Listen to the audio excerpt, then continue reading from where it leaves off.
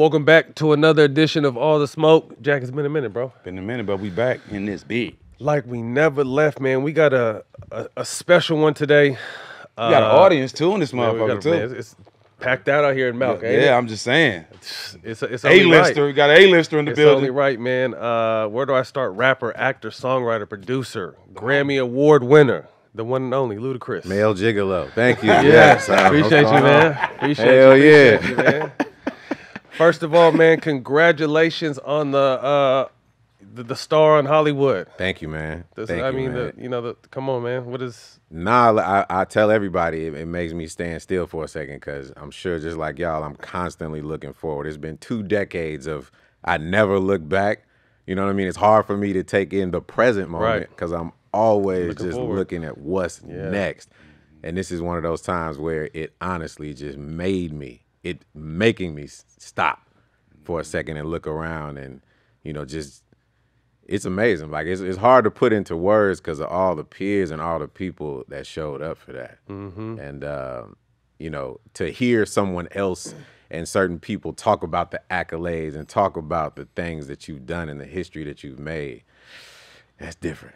That's different. What kind of stuff comes to mind though? Because like you said, we're always so hamster wheel. What's next? Well, after that next. So when you do finally take a look back at your journey, and it's been twenty plus years, like what's what? What are some of the things that jump out to you, and what do you remember about those things? I think um, where the journey started to where it's at right now, you know, you hear people say those cliche things like, you know, would you ever have thought that you would have been doing this or doing that? And the, the honest answer to that question outside of music um, would be no.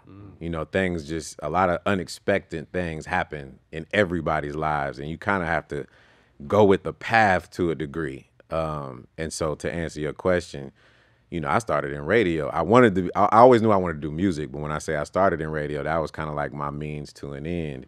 So, in case y'all don't know the story, Love love yeah, I was at this station and I was trying to get the attention of certain people so that I could put the music out. And it was like amazing because at during this time I'm like 17, 18 years old at the radio station and like a local celebrity and it was a pit stop. And for a second I was like, this is this is pretty nice because I'm over here getting more money than I ever got in my life, Right. hosting parties, getting cash.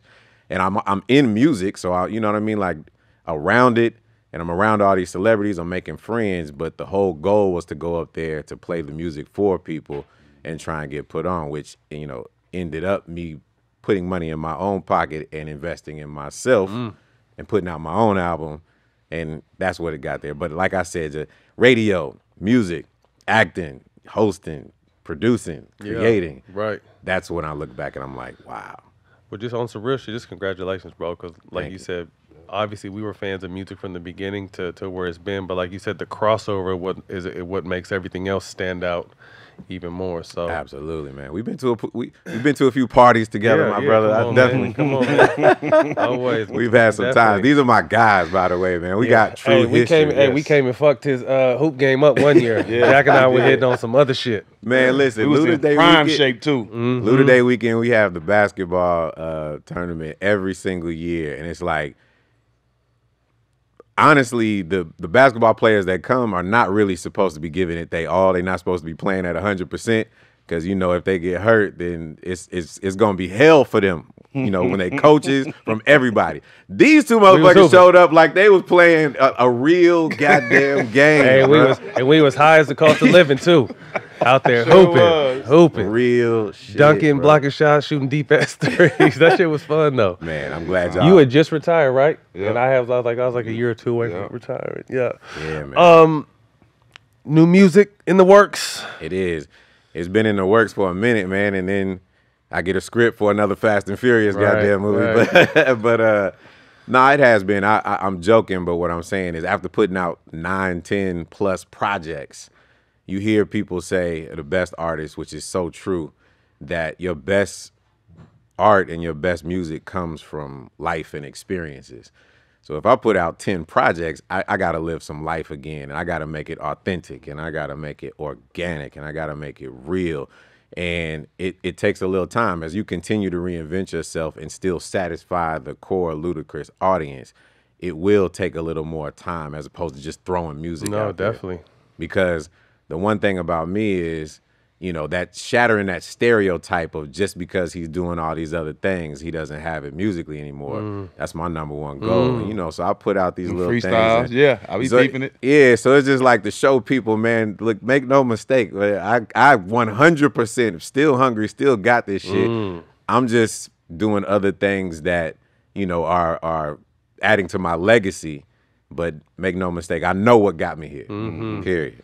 As you continue to add to your legacy, what are some of the new thing? Any new things you're working on right now, or projects, or In terms of music, anything outside of music? Tell Man. us, tell us what's on your slate. I know your movie's coming out soon. Oh yeah, yeah. No, it's a it's a lot of it's a lot of different projects. Uh, movies, obviously, this Fast and Furious Ten just came out. Um, I think the cat is out the bag. We can say that it is more than one because there's like a part A here, so it's it's open ended. Okay. Um, I have a movie that Will Packer produced and Tim Story directed. I've been wanting to work with them forever. It comes out at the end of this year on Disney uh, Plus, and that's called Dashing. Me and Lil Rel, Black Santa Claus movie. You know, they kept saying they, they haven't seen a movie with a black Santa Claus, and I'm like, I, I had to think back, and this might be the first black Santa Claus like starring movie. Um, we just talked about working on music. If you haven't heard, The Karma's World, this is based off my daughter on Netflix. It's four seasons man. of that. That's dope. Merchandising in stores, streaming. Um, chicken and beer restaurant. We about to open up one in LAX. There's one in Atlanta right now. So uh, what else? What am I forgetting? Shit. I know it's a lot of stuff, man, Right. but those are kind of like the main components right about now, I guess you could say. I mean, we are gonna get to it later, but you brought it up now. Getting an opportunity to work with your daughter and just see her fall in love with, you know, a space that you're in and her growing it. Uh, Yeah. What is that like for you? I mean, listen, man. People talk about what we doing on this earth. Why are we here? That's a that's one of those full circle moments that you know I've I've done my duty in terms of helping the next generation with self confidence and all the things that they're dealing with right now. You know, it being inspired by my daughter. So it's unreal to her. Like she she has no words. I mean, she's out here. You go in Target, you go in Walmart, and you see a, a a doll in your likeness, and you hearing this music. I was just I took my youngest daughter, who is almost two years old, to the playground the other day, and I kid you not, I saw another kid that was about four years old playing on the playground, and she had the Karma's World doll in her hand while she was playing. And it's like there's a lot of you know people can tell you certain things, people can say how it's Right. affecting. You Come can on, man. read text, you could look on social media, but when you at the playground Feel it. Mm-hmm. randomly with your daughter and you see another kid, that's a whole different kind of wow. Like It's beautiful. yeah, it's a beautiful thing, man. congratulations Beautiful thing. Thank you. Fast and Furious 10. When we say 10, like what first thing come to your mind? Number 10. The first thing that comes to my mind is, what the fuck? What the fuck? Right. I mean, listen, I can only be honest. And I say that because me and Tyrese both came in at two. Too fast, too furious. So we didn't even start the franchise. We got lucky. Rest in peace to John Singleton. John Singleton takes, you know, he's known for taking Ice Cube and um and certain people from the music world, Tyrese, and throwing them in movies. And then all of a sudden they have a whole career. Um, he took me and and and put me in Too Fast, Too Furious. Tyrese had already done Baby Boy with him, and it changed the entire direction and trajectory of my of my life.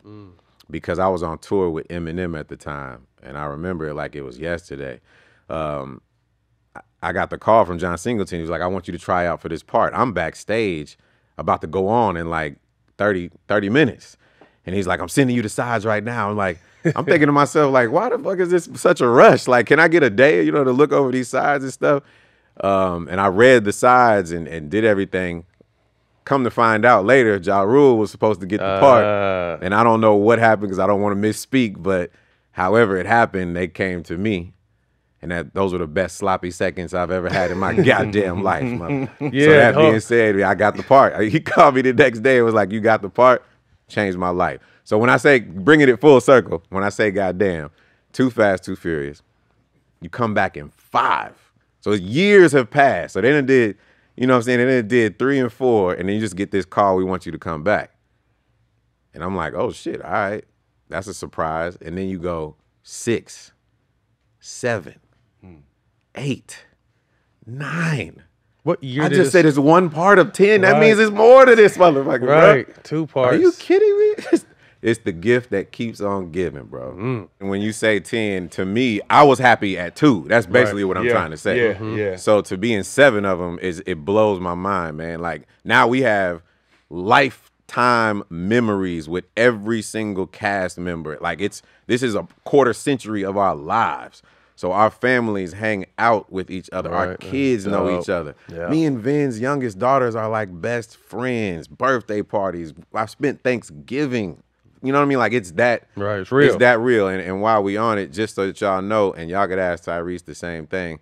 I put my cast up against any cast in movie history in terms of when you yell cut and the movie and the camera goes off of who really fucks with each other. Mm-hmm. Truly, nobody can fuck with us when it comes to that. dope. That's Period. deep. All of us. That's for life, ab- too. Yes. But you, so you started talking about two. Now we're at ten. Like, how crazy has the has each movie got? And like, do you do your own stunts?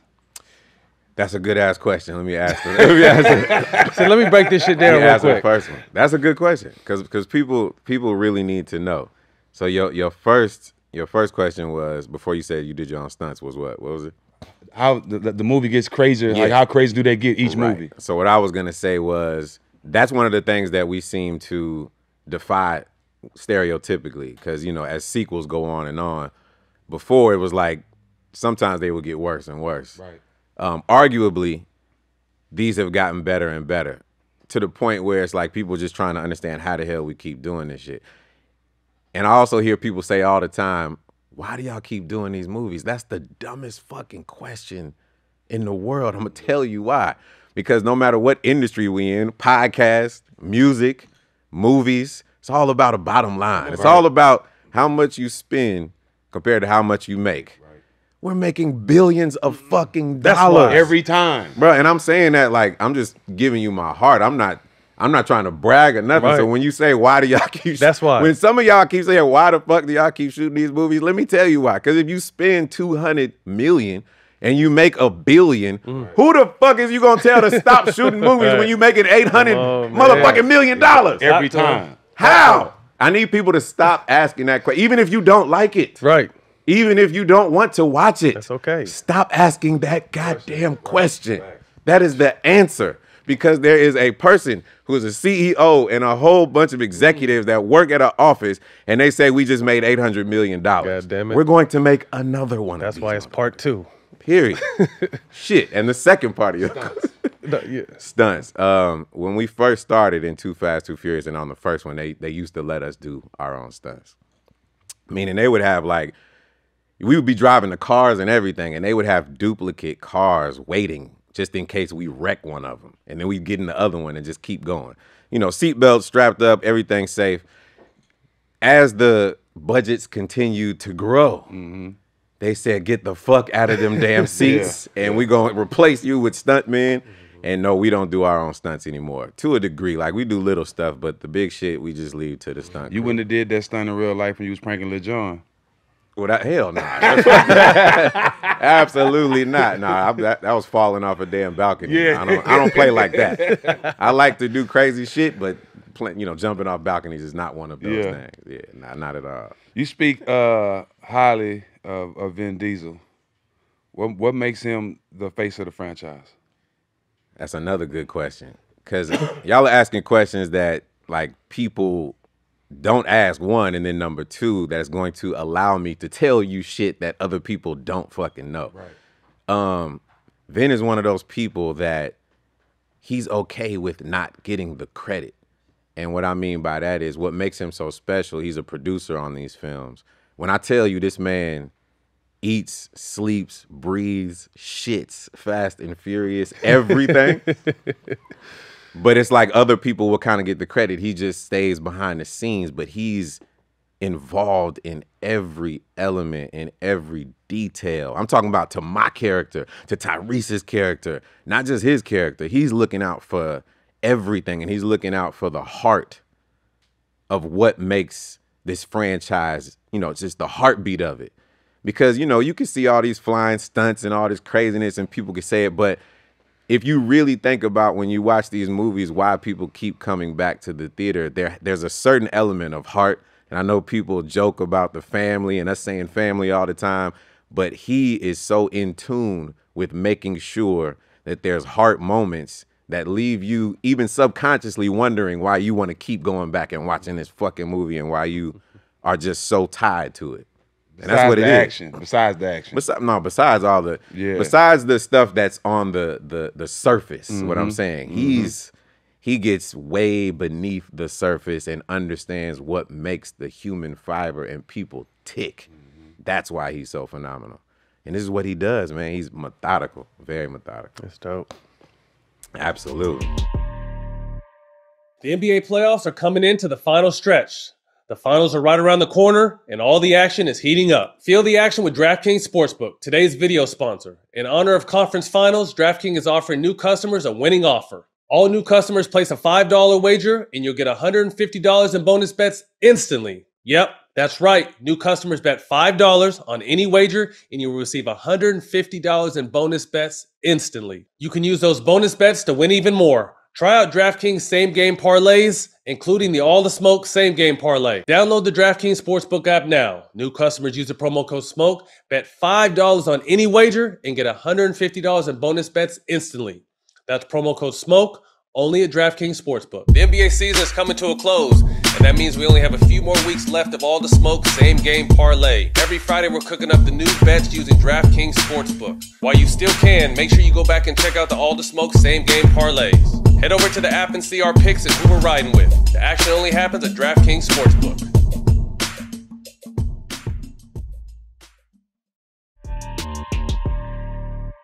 Where does The Rock stand with the Fast and Furious franchise?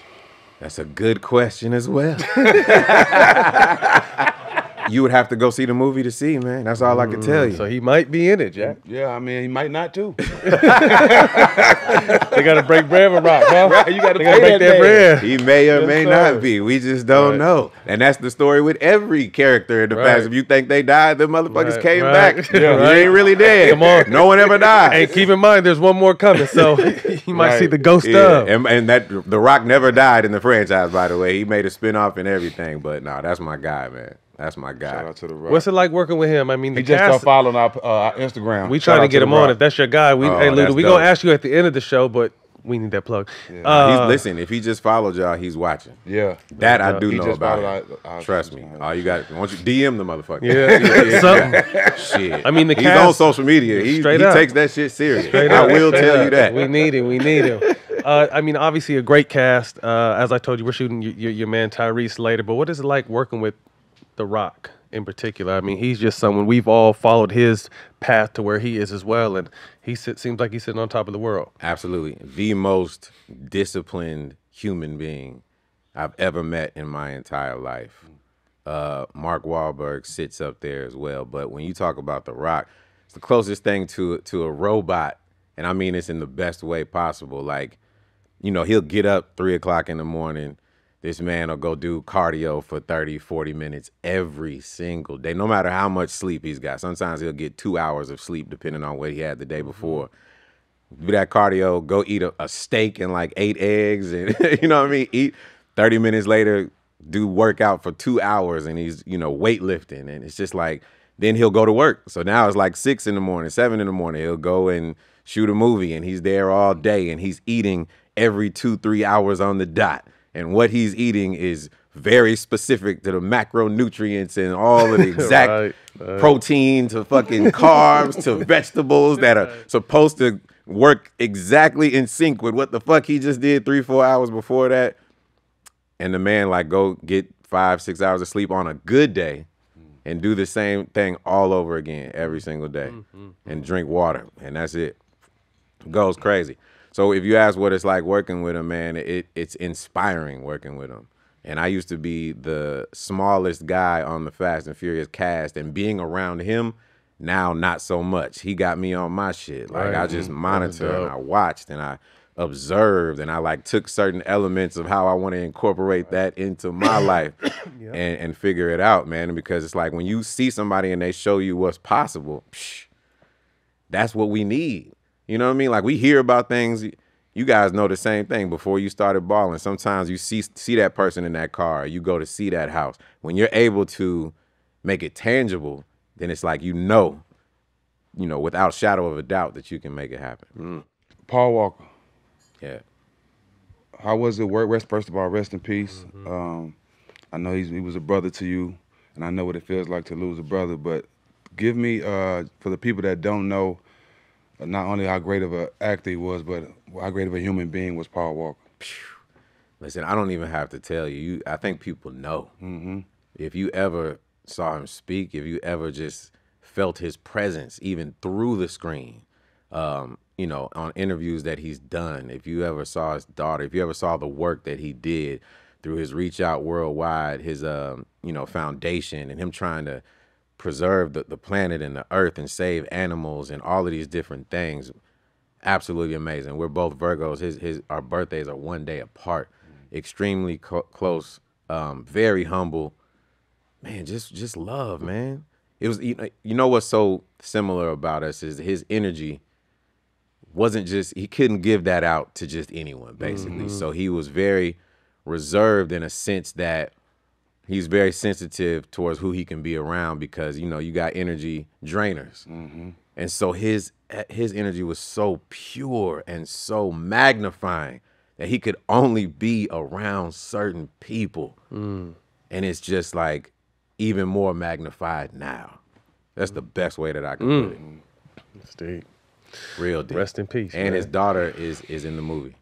Dope. That's dope. she got a cameo in there. So his legacy it lives on Absolutely, as it should. Man, fuck y'all for getting me secondhand high right now. I ain't smoked Got you forever. comfortable. That's Man, I'm why- high as hell. This motherfucker Hey. like, what the hell? I ain't, hey. I ain't did shit. Hey, Yeah, hey, hey, that's how we reel you Hell in. nah. You gonna start saying, "I ain't never told nobody this," but that's, that's how we reel you Y'all in. gonna see me on camera start going like this.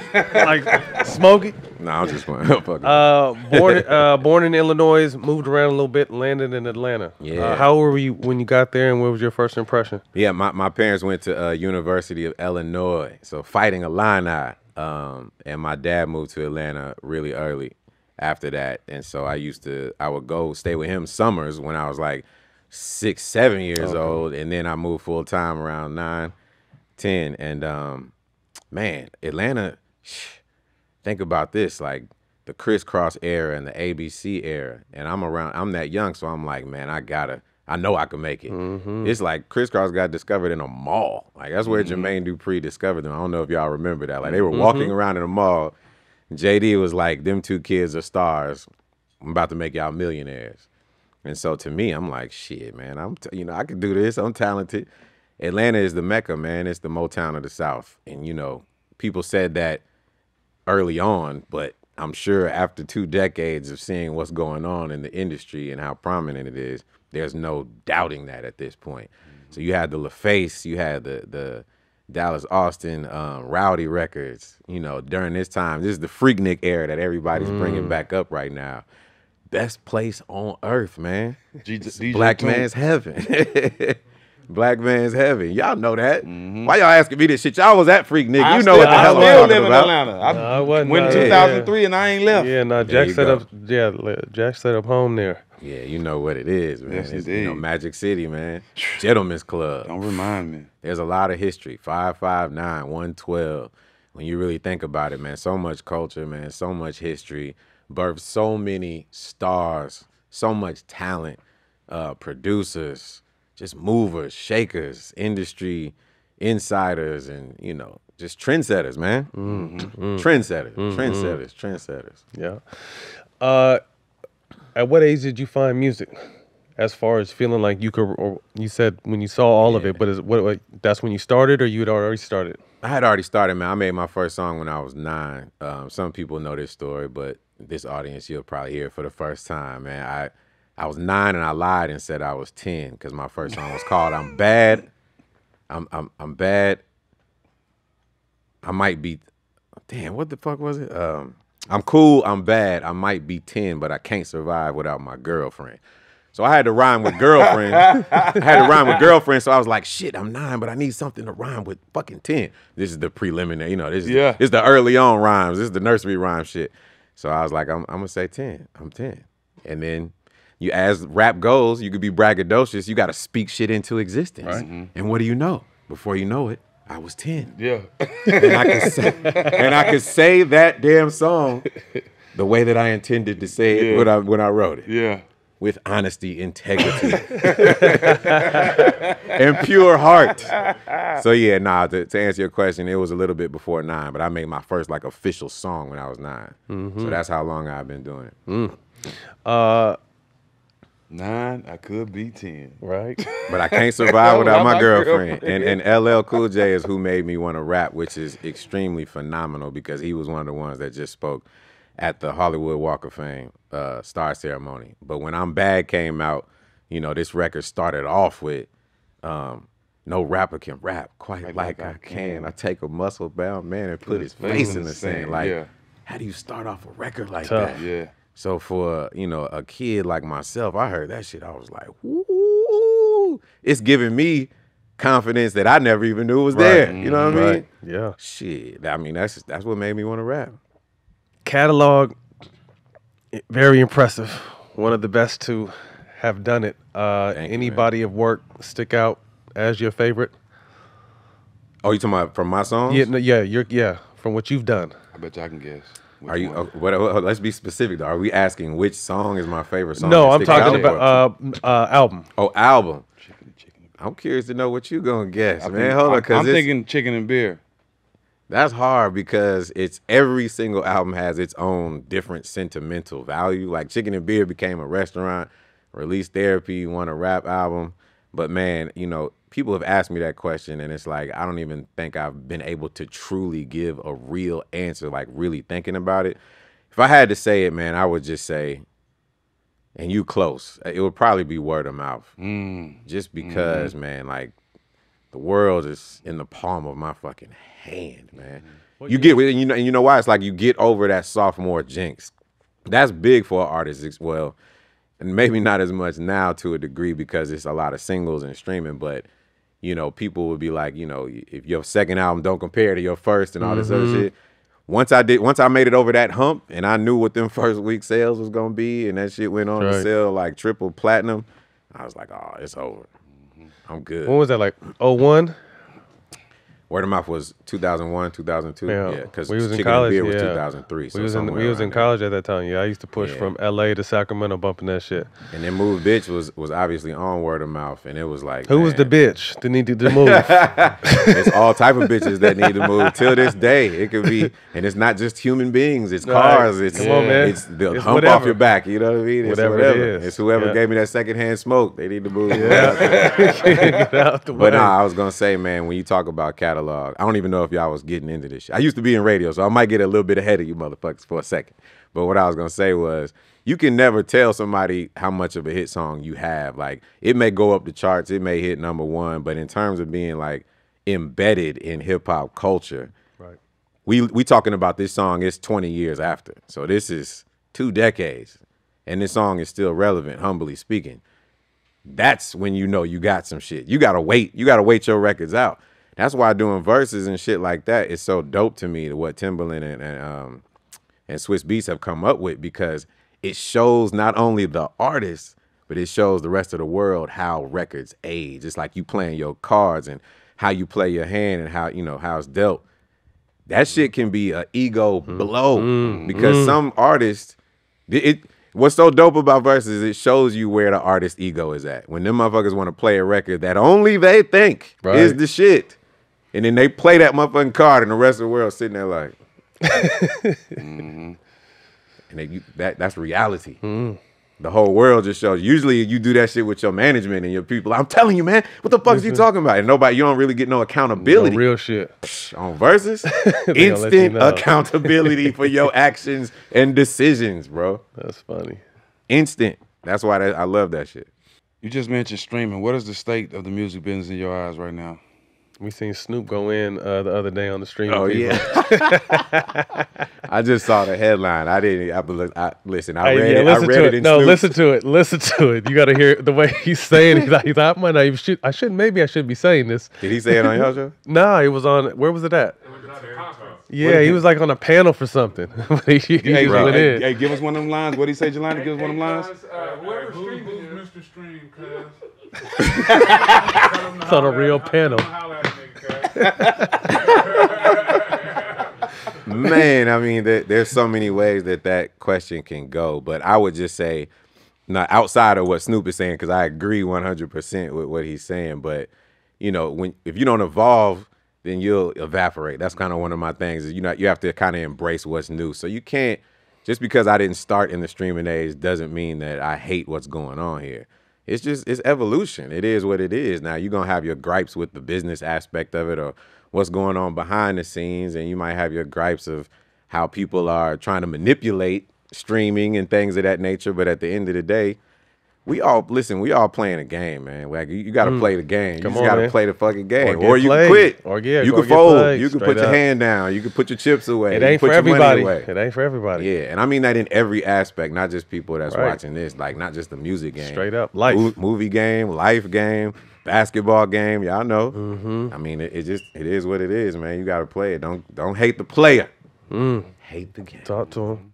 You, you didn't only come on the come on the scene with a new sound. You came with the visuals.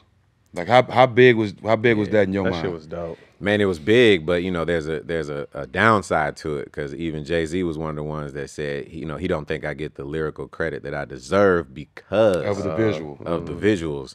So you know, the the answer to that is like people ask me, you know, why don't you think get the get the credit? It's I play too goddamn much. That's what I mm-hmm. do. You know, and I wouldn't have it any other way. That's That's you. why my name is Ludacris. It's beyond crazy. It's wild. It's ridiculous. I like uh, post effects and augmenting reality, big ass shoes, a big ass chain, and bobblehead and all that. So it's like I get it. You know, I can't be mad at it. I just have to show the multifaceted aspects of myself, and I actually love that.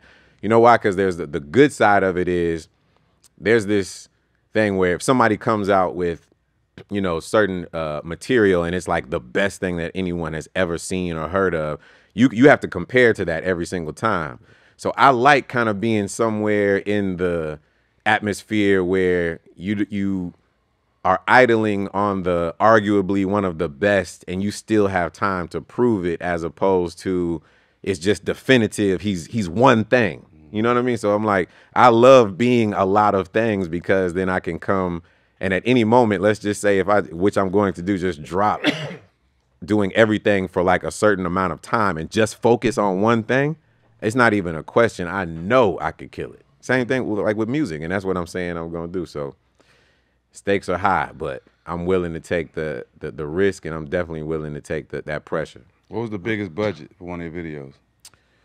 That's a good ass question, but I want to say like half a mil, something like that. It probably wasn't like the million, you know, maybe it inched up to that six hundred thousand, but you know, you hear about when Diddy and Mace did the one million dollar videos. It was a couple of those, so you know the the can't stop, won't stop if if, if that's what it was, or yeah.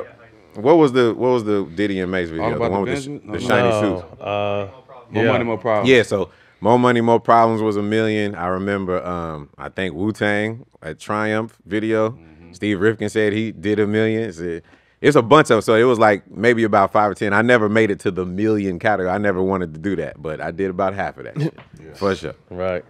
um, 2000s, you cross paths with many legends. We we try to compile a list. Uh, when we tell you the name and the in, in, in the song, just tell us a little bit about it. Uh, Mm. Nate Dogg and Area Codes. Wow, man, that's my man. Rest in peace. I'm the biggest Nate Dogg fan in the world, man. People know it, and I think I've done more songs with Nate Dogg collectively than any other artist, maybe Ciara, but Nate Dogg was just man. He's just amazing. He's just amazing. He smoked the whole wherever you at, he'll smoke that whole shit down, and uh, you know he just you you throw on the beat, he'll smoke. Take him about an hour or two. When he jumps in that booth, everybody's paying attention kills it every single time. But just such a, a, a dope demeanor about himself, cool, calm, collected, and you know just how he chose his melodies and and how he chose to do certain things musically was just always surprising to you because it was I was out of the unexpected. I know people would say talk about his tone and stuff, but he was one of the most complex individuals when it comes to singing not only hooks but just entire songs that I ever encountered. So Mm. I'm a huge Nate Dogg fan, man. Uh, Pharrell and the Neptunes, Southern Hospitality. Wait, I was going. to Something just came to mind when I was like, one of my favorite rap lines I said on one of Nate Dogg's songs, and I said something like, um, something, something going to bed. You got a frog in your throat like Miss Piggy giving head. It was one of my, bro. I was just like, God damn. Sometimes I be saying some of the hardest shit, shit. In the world. Okay, Yeah. sorry. What was the next? one? Nah. That was a bar. Rest in That's a peace, bar. Nate Dogg. Yeah, rest in Man, peace. That's a That's bar. a bar. man. Straight That's a up. bar. Man, Put me up there, man. Come That's a on. bar. Come on, man. Uh, Pharrell and the Neptunes. Pharrell and the Neptunes, man. Um, the the first thing that comes to mind, and y'all might not know this, for so Incognito was my independent album, and it was missing three songs when we signed the Def Jam, and not missing three songs, but when we signed the Def Jam, we basically repackaged it and added three songs to it, and took like two or three songs off of what was on there, so that it, it was kind of repackaged in that now for the world as opposed to being sold out my trunk. And Throw Them Bows was one of those records.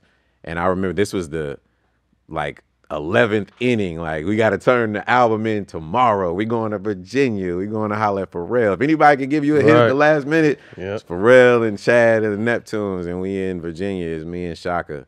And he throws on this beat. And I'm vibing to it. I'm thinking it's cool. I'm not, you know, I'm not like thinking this is a hit. But I do what I do anyway. I go to the car. This is where I write all my music. I just go in the car. This is like my space. It's, it's where I zone car? out In the car? in a car. So I, I'm in the parking lot in the studio, in this truck, listening to the instrumental. I'm writing to it. All this shit's coming out. Cadillac grills, Cadillac mill, and I'm thinking it's cool. I come back in, you know, and I'm saying it for Chaka and Pharrell. These motherfuckers is like, oh shit, this is it, this is it. And I'm still like, man, it's cool, man. It ain't. So you know, Pharrell kind of like helps with the hook a little bit. All of a sudden, you know, they play it for me, and I'm still thinking that this is good, but I still don't think it's a hit. So we, you know, we put that shit on the album. I'm not thinking it's gonna be a single because "What's Your Fantasy" is the first single, and then everyone identifies with that damn mm. "Throw Them Bows," and it's crazy because you hear a lot of artists always saying, "I knew that shit was, I knew it was a hit." I, I for Southern Hospitality, I did not know that it was the hit that it became, mm. and and what it is still till this day. And that happens with artists all the time. Sometimes when you the one you least expect becomes a hit, and obviously sometimes your instincts are correct. Yep. Sometimes your instincts are wrong. So that's how the game goes. Uh, Nas and Jay, Do It for hip hop. Man, for me to get both of them on a record together, and this was right after they had squashed the beef. I just remember Jay kind of holding out um, because you know he liked to make an element of surprise when you get him on a record. I think I got Nas on the record first, if I'm not mistaken, and then uh, Jay hopped on there. And the day we got both of those verses on there, we was just like, man, this is hip hop gold. And what better way to do this than to have a record that's just for the love of hip hop? This ain't, you know, if you if you're gonna give a record to these two individuals, it's got to be something that's all about the heart. And we, you know, that, that could be the theme of this podcast when we talk about Vin and heart. When it comes to music, man, if it don't have heart to it, then I can easily see people saying I ain't fucking with that. Yeah, man. Uh, welcome to Atlanta, Jermaine Dupri. Welcome to Atlanta, JD. Man, JD, JD. The first thing that comes to mind was way before that record was uh was made. Um, JD, I actually went to his house one time, and this was when he had Kris Kross. He didn't know who the fuck I was. I just found out where he lived because he was in College Park, not far from where my pops lived. Had a gate around his crib. And one day I pulled up, I had my demo tape. I was gonna put the shit in the mailbox. I see this man walking outside in front of his house. I'm like, yo, JD, yo, yo. Now imagine this shit, like a complete fucking stranger, this little light skinned motherfucker with braids telling you to come here. Like you don't know what the hell is going on. He don't know if I got a gun. He don't know what the hell I'm trying to do. This motherfucker walks up to me by himself, like no security, nobody with him. I'm like, my name's Ludacris, man. You gonna hear about me? Here's my demo. Ta- takes my demo. I don't know any other human being that would do that shit. Till this day, I have a crib. If I see a motherfucker saying, "Hey, Luda, come here, Right. come here," I'm like, "What the fuck is you talking about?" Right. man? Come. Right. Nah, but I like JD is he's one on one, man. When he made Welcome to Atlanta, I definitely knew what that shit was. Mm. Mm. you know what I mean? That's an anthem. When you know you can go on this Janet Jackson tour and you go to every other city but Atlanta, and that's one of the first songs I do, and the crowd is still going crazy when you're not even in Atlanta, and I'm telling motherfuckers, "Welcome to Atlanta." Right. psh, you know what it is. Uh, Usher with Lil Jon. One hundred percent. Lil Jon sent me that record with Usher's, you know, verse on it, and I like when I say I knew something was a hit. Everything else that I talked about to this point, disregard that. I got that shit. I was like, this shit is out of here to the point where take that and rewind it back. Put that shit on the front of the record and at the end of the record, and I'm gonna do a verse in the middle of this motherfucker. I'm on Straight this up, record. straight up. This is it. This is that shit. Between that, Justin Bieber, I don't know where you're going with this, but I'm like, all I do is win. Justin Bieber, baby. Usher, yeah.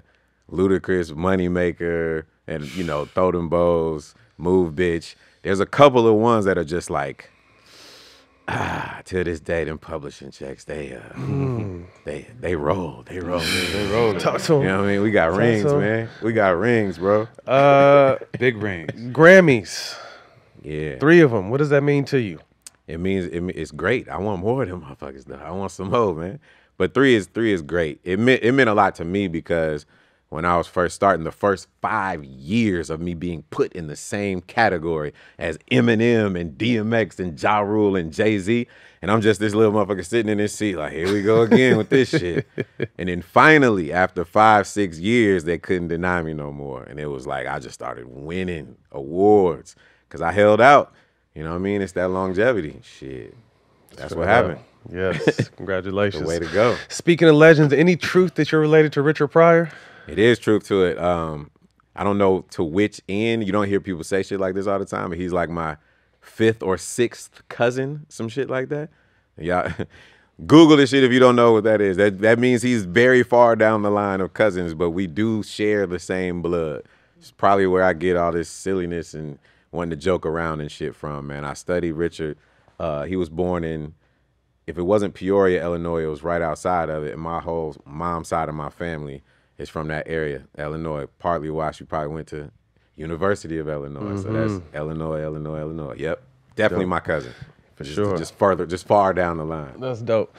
Well, before we get out of here, uh, we just want to give you your flowers, man. Like I said at the beginning of the show, man. The the, the Wait, man, we done already, man. I'm having fun, man. Man, they have The they have us on, they have us on the clock. They said you Oh, had a hard shit. out. I so- do got other so, shit. I Yeah, gotta no. go So to we got E-News we, we got quick hitters. We just want to say like you know the way you've get, been able to continue to elevate and and do it in a positive sp- uh, way and, and pure intentions is why we feel like you continue to just And a real one. master, bro. That means know the what I world mean? to and, me. and we look up to you, and you're someone that's kind of behind the scenes, but you know you're still front and center. So we appreciate You know, you I take that to the heart. I wish I could say you were telling hundred percent of the truth because I might be on the backdrop and on this motherfucking wall, but you know, at some point These I'ma are dead on the- legends. These are dead legends. Oh, take that, take that out. I didn't see yeah, that. Sorry about yeah, that. Uh, take that out the podcast. Uh, bring that back. bring that back. hey man, thank you, man. I greatly appreciate that. Yeah. You know what I'm saying? Um, I accept all of those flowers. Yeah. I accept that y'all got me high here today. And Yeah. uh, man, listen, Even- this ain't the this ain't the last time I'm coming back. Yeah. Even on, on, the crossover side of it, like I'm just getting into acting. So to see somebody like you that come from where we come from, and able to do different things, like you say, they like to put us in the box and make have make us do one thing that we're great at. No, we can be great at a lot of things. So you are a great example of that for even guys like me. So salute to that. Hey man, that means the world, and thank y'all for supporting me way before you even knew how much you would support Right. me. Appreciate it, So man, let's continue success. Let's build. yes. Let's uh, let's become Yes. billionaires, Yeah. man. You got a lot of deals you need to talk to us about. Movies right. too. I'm ready. Quick hitters. Uh, we're gonna put you on the spot with this one. Oh, Uh, top five most impactful artists or group from Atlanta. From Atlanta, when you say groups, I'll definitely put Outkast in there. I'll definitely put Goodie Mob. This is this this has to be just Atlanta. Yeah, just Okay. Yeah. Atlanta. Outkast, Goodie Mob. Um, man, it's like when you when you say just Atlanta, I want to put like No Limit and Master P. I know this is still the Mm-mm, South. nope, Can't nope, do it. Nope. Influential. Then it has to be artists or it could be producers as well. Both. You can throw them in there. Oh, definitely. Um, definitely Organized Noize. Definitely Jermaine Dupri. Um, that's four. Who am I missing in this thing? I mean Dallas Austin. When we talk about the the ones, you know, like right when I was starting and having that LaFace records and having the Rowdy records and having the So So Def, you gotta think about that, man. They started a whole movement that that just grew. So I would say those. What's your favorite car of all time? And is it true that you purchased a car after every Fast and Furious? I do. Um, nah, it is true. But the last two movies we've been shooting in London, where the steering wheel's on the other goddamn Yeah, side. So yeah. I just said the hell with that shit. Yeah. But all the movies previous to that, I definitely own a car. My favorite car is still my 1993 Acura Legend, Mm. and I still drive it to this day. Two hundred and fifty thousand Thousand, miles yes. on that thing. Built to last. my, if it's not that car, my favorite car of all times is the Ford GT, and I love it. or GT? Man, I love that car, bro. No traction controls, the gear shifting, how that's like it's so unique the way that it looks, the way it drives, the tires. To this day, you could drive a 20, 30 year old Ford GT and you drive down the street, motherfuckers gonna be like, what in the fuck is mm, that? Mm-hmm. It's dope. Speed. Uh, three must-haves when you're traveling. Three must haves when I'm traveling. I mean, besides clean drawers and socks and um man, p- this is gonna sound random as fuck. Peanut butter. I don't know if y'all saw the, the damn commercial I did, the peanut butter commercial. I love fucking peanut my butter, man. I can eat peanut butter every goddamn day. I have no idea what what that is. But peanut butter is definitely one of those things. Uh, my Afro pick, I gotta have that. Yeah. know Even if you mean? braid it up. Yeah, I mean, well, because it's it's coming out sooner some or later. right. That shit. My Afro pick, and then uh, man, my uh, right right now, this big ass Atlanta World Series ring that I got right here. Just got to show this shit It is off. big. There go, there go your three. That shit bigger than yours. Yeah. yeah, you, you look. The, you seen Got his face before he it. answered. Yeah. Hell yeah, I got three of them though. nice. Um, five dinner guests, dead or alive. Tupac, Biggie, Barack Obama, Malcolm X, Martin Luther King. Dope. Dope. Solid five. That would be one hell of a dinner, man. Sheesh. Who would you like to see on our show? But before you answer that question, Yep. you have to help us get your answer on the show. Damn, I'm back. Gotta I'm be back. one of You're gonna leave me hanging. Oh yeah, my bad. I'm man. back, I I'm was just, I was so enamored by, by the way you presented that. I Yeah, know he's gonna make it happen. Yeah, I'm back. He's gonna make it happen yeah, though. Yeah, he gonna make it happen. A lot of people don't make it happen, but, But gonna he's it. gonna make it happen. Hell no, I ain't making this shit happen. Yeah, yeah. Man, who who the hell? I don't because there's so many people that's been on y'all show already. Now we got to come think of someone who hasn't Uh, the been Rock, on here. The Rock, Mark Oh, Vin Wahlberg, Diesel. Vin Diesel. I would definitely say. um I think Mark Wahlberg needs to come on here. Yes. I've been back and forth. We already talked about The Rock, so that was a Yeah. given. But I, I feel like Mark has a lot. he has a lot of Make sure we game have my to give. audition tape ready, you guys. Yeah, ready? Mark, Mark got Wanna to shoot do your it, man. shit. That's a, I like because when I said two of the most disciplined people I know, The Rock and him, Mm-hmm. That's a good reason for you to try and get him on here because he needs to share some of that discipline. Let me tell you how random I got to know Mark Wahlberg was. So maybe like two years ago, I put a, a Instagram post, like a selfie, like, "Hey, uh, I'm, I'm taking my family on a, a a a camping trip. I'm looking for a big, you know, if you could." Uh, uh, RV to rent. If you can recommend anybody, this motherfucker DMs me and tells me I can take his, and I I've seen him, but I've What? never really met him. That's crazy. His RV. This dude, t- You could definitely get him on the show then. Listen, listen, listen. Now we've been back and forth on on, on getting him on the show, but Yeah, listen yeah. how round and so.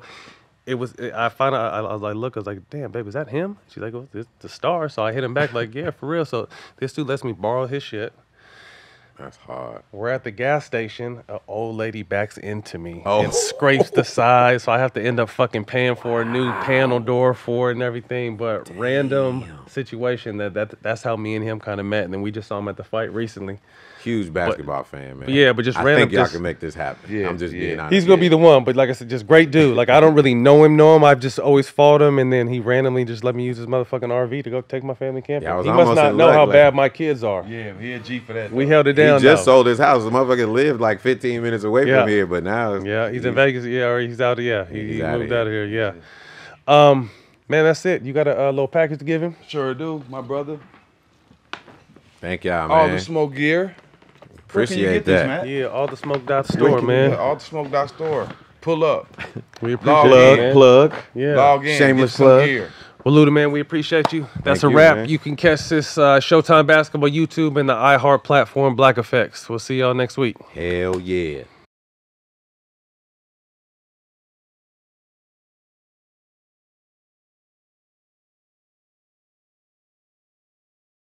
It's finally here. Took you long enough? The moment you've been waiting for. Can we get on with this, please? The movie critics and audiences love is now streaming on Paramount Plus. You can't deny the people what they crave. Oh, we got him now! It's fairly wonderful. Oh, I got a good feeling about this. Dungeons and Dragons: Honor Among Thieves, rated PG-13, now streaming on Paramount Plus.